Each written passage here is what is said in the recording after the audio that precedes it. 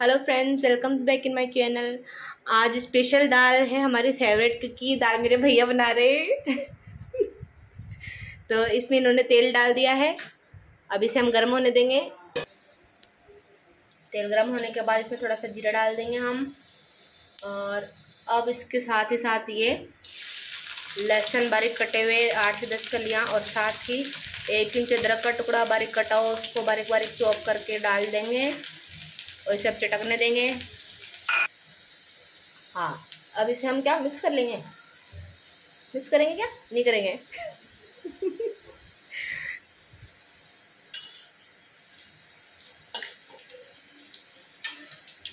अब क्या जाएगा इसमें भैया?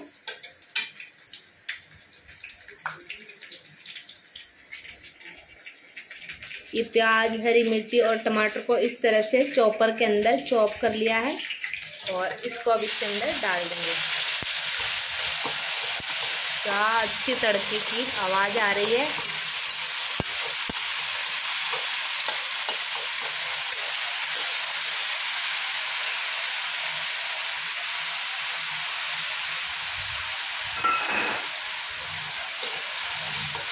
ये हमारे फेवरेट दाल है। घर में सबको पसंद आती है। लेकिन ये कभी कभी खाने को मिलती है जब भैया का मूड हो बनाने का। है ना भैया? भैया साइलेंट मोड पे गए हुए हैं अभी। जो खाना बनाते हैं तो एकदम साइलेंट हो जाते हैं।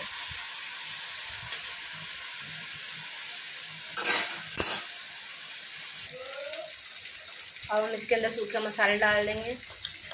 एक चम्मच हल्दी।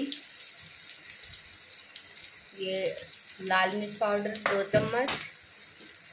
साथ ही स्वादानुसार नमक डाल दिया है इसमें। धनिया पाउडर डाल देंगे, दो चम्मच। और अब इसको अच्छे से मिक्स कर लेंगे।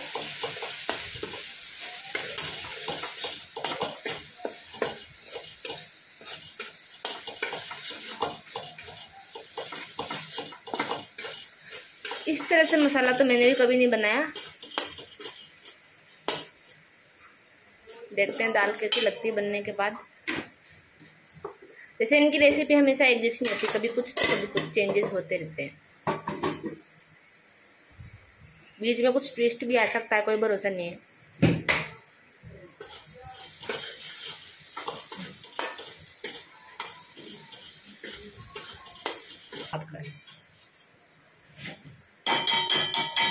मसाले ने अब तेल छोड़ दिया है तो अब हम इसके अंदर दाल डाल देंगे। एक साथ डाल दो ना भैया।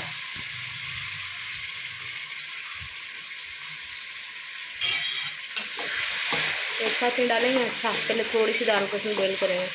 देखो, मैंने कहा था ना, इसमें कुछ ना कुछ ट्विस्ट हो सकता है, सबका अपना अपना तरीका होता है बनाने का।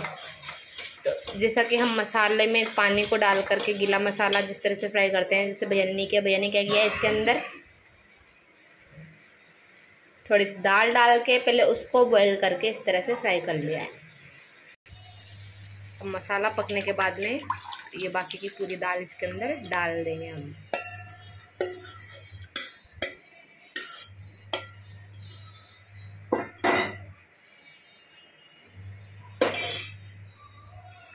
और मसाले को और दाल को अच्छे से मिक्स कर लेंगे।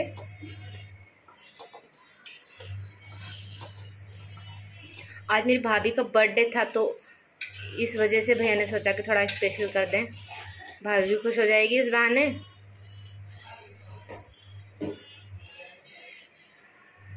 Veg birthday girl. Happy birthday भाभी। थैंक यू दाल थोड़ी गाढ़ी ज़्यादा हो गई थी तो आपको जिस हिसाब से कितनी ज़्यादा गाढ़ी या पतली पसंद है पानी, उस हिसाब से आप ऐड कर सकते हैं। बहुत ज़्यादा गाढ़ी लग रही थी हमको। तो इसको हमने पानी को अच्छे से बॉईल करने के बाद डालें, बाद में जब पानी डालें, और ये हमने इसके अंदर डाल दिया बहुत सारा धनिया। ऐसे भी अच्छे से हम मिक्स कर लेंगे।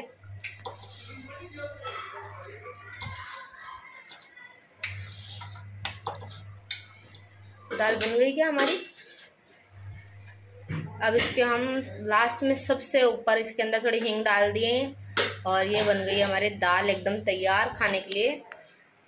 Thanks for watching and keep supporting bye guys